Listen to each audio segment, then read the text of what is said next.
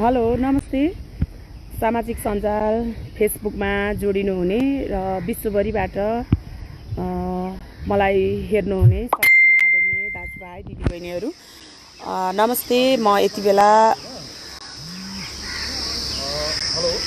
म यति बेला बजाङमा छु। यहाँहरूलाई थाहै छ।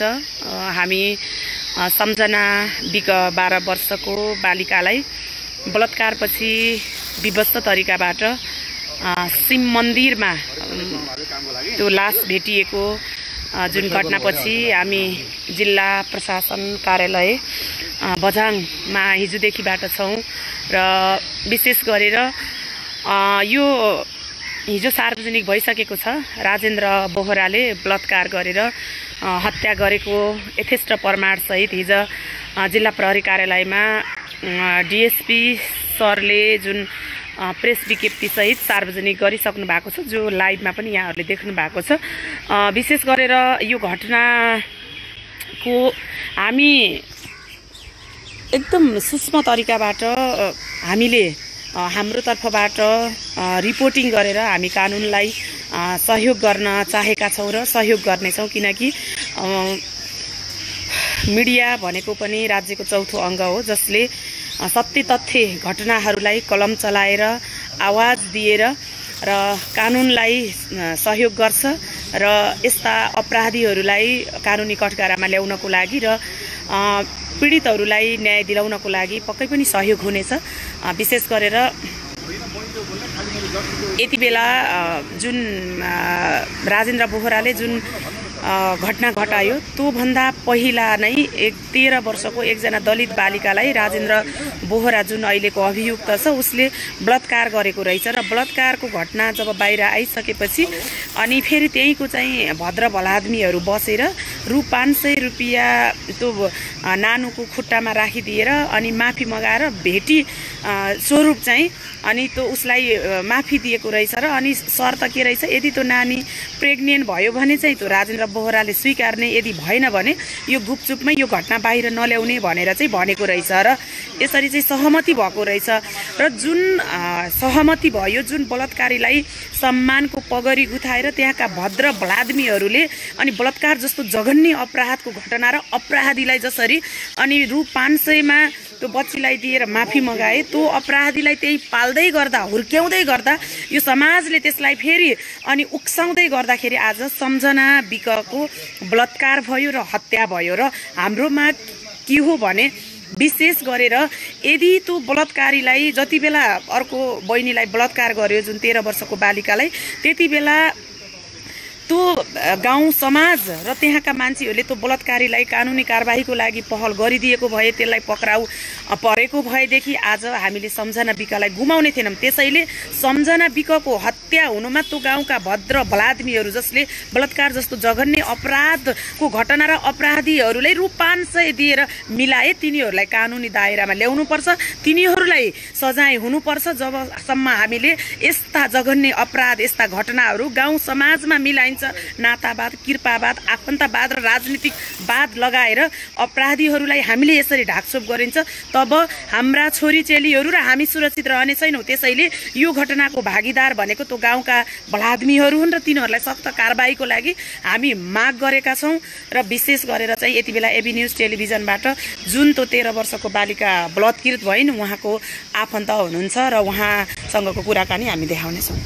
हामी काठमाडौँदेखिबाट दुई दिनको यात्रा निकै कष्टपूर्ण यात्रा बझाङ आउनु त्यति सजिलो पनि रहेनछ र एकदम ठाउँ ठाउँमा बाटोहरू बिग्रेको पानी परेको हामीले निकै कठिन यात्रालाई पनि हामी एकदमै हाम्रो अनुकूल बनाएर हामी अस्तिदेखिबाट हामी लागिरहेका छौँ र विशेष गरेर हिजो मात्रै जुन बालिकालाई बलात्कार गरेर हत्या गर्ने राजेन्द्र बोहरा सार्वजनिक भएको छ यति मात्रै होइन। यहाँ केलाउँदै गर्दा बजाङमा यति धेरै घटनाहरू जुन त्यहाँ घरभित्र समाजभित्र चाहिँ लुकाइएको मिलाइएको घटनाहरू यहाँ कति रहेछन् कति रहेछन्?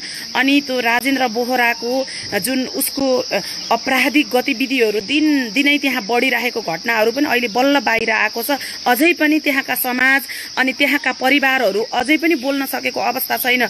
अझै पनि ती बालिकाहरूमाथि भएका बलात्कार बालिकामाथि भएका हिंसा अनि ती घटनाहरूमा अझै पनि परिवारहरू बोल्न नसकेको अवस्था छ र राजेन्द्र बोहराले त्योभन्दा पहिल्यै पनि अनि ऊ आफैले भनेको रहेछ एकजना बालिकालाई उसले पहिला हत्या गरेको भन्ने कुराहरू पनि अनि अहिले बाहिर आएको छ र उसले राजेन्द्र बोहराले जति बेला अनि सम्झना विकलाई बलात्कार गरेर हत्या गर्यो त्यही दिन त्यही गाउँको अर्को बालिकालाई पनि उसले अनि त्यो कानको मुन्द्रा उसले निकाल्नको लागि त्यति बेलै पनि अनि उसले पछ्याएको रहेछ जुन छाना भन्दो रहेछ त्यो जुन गोठमा त्यो घाँस अनि त्यो खाने चिजहरू त्यो राख्दिन बान्नको लागि जाने ठाउँलाई चाहिँ यताको भाषामा छाना भन्दो रहेछ।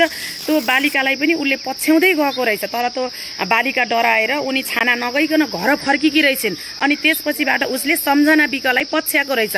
त्योभन्दा अगाडि उसले सम्झना बिकालाई तेरो कानको मुन्द्रा दिने भइदिए नत्र बिच तँलाई मारिदिन्छु भनेर पनि धम्की दिएको रहेछ र सम्झना बिकले हजुरबुवालाई राजेन्द्र अङ्कलले त यसरी अनि कानको मुन्द्रा माग्नु भएको छ नत्र मार्छु भनेर भन्नुभएको छ भन्ने कुरा पनि अनि चाहिँ भनेको रहेछ।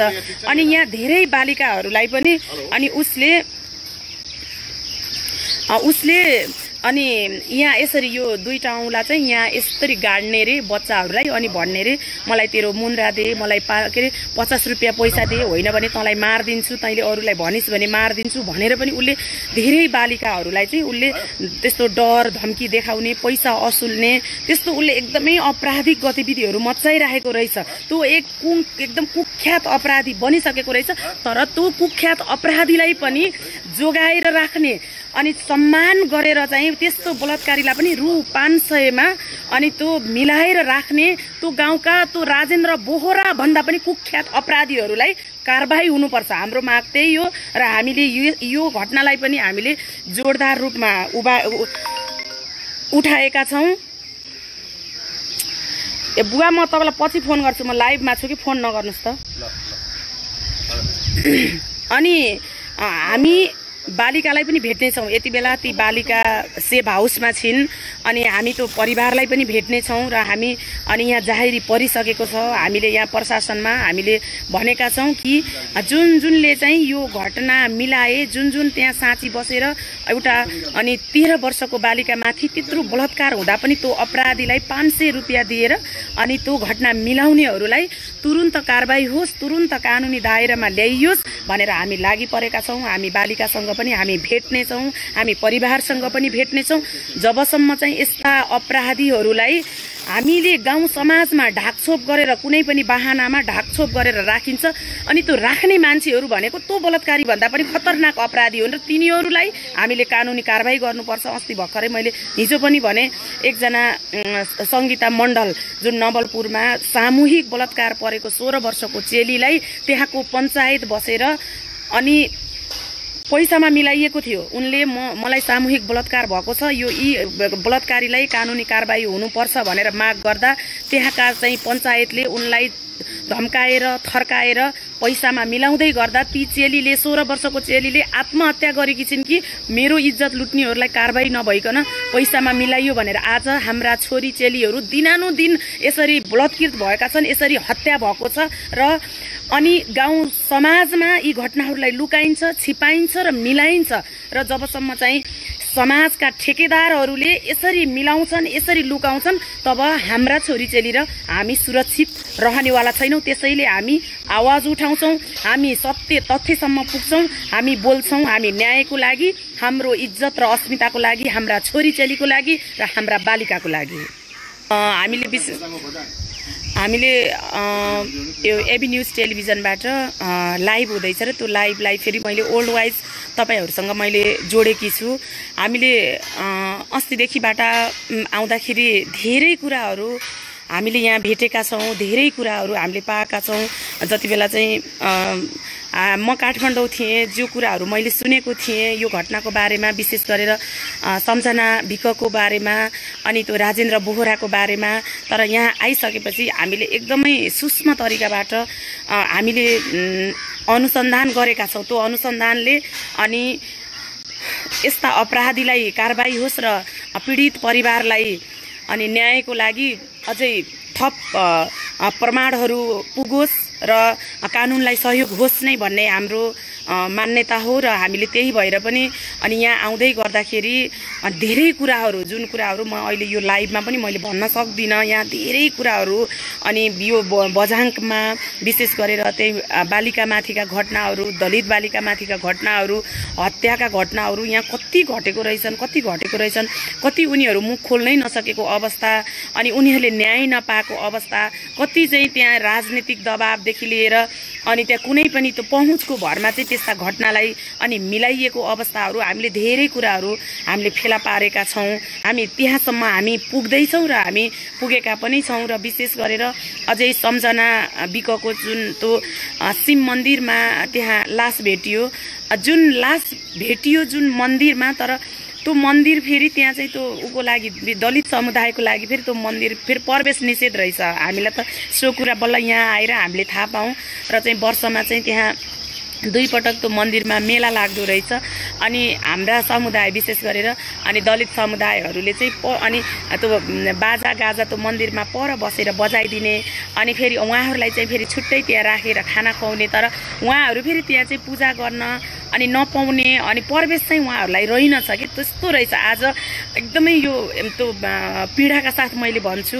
जुन मन्दिरमा अनि बाचुन्जेल चाहिँ यो समुदायले प्रवेश पाएन। आज त्यही मन्दिरमा एउटा दलित बालिकाको अनि बलात्कार भएर विभत्स अनि त्यो लास अनि त्यही मन्दिरबाट चाहिँ